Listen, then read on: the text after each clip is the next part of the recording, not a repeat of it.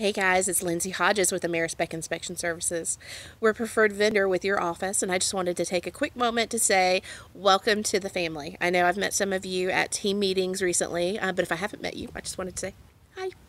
Uh, one of the things at Amerispec that we pride ourselves on is being a true partner to you and your business. So that means anytime maybe you're out on a listing appointment or you're showing your buyer some houses and you run into something that maybe you're not so sure about, that's what we're here for. So you can give us a call anytime. You can send us a picture of something you, you think might be a little weird, and we'll do everything we can to help you get it figured out. So anytime you need us, you can feel free to give us a call at our office, 770-935-4990. I hope you guys are taking advantage of this beautiful fall weather that we're having today, and uh, we hope to hear from you soon.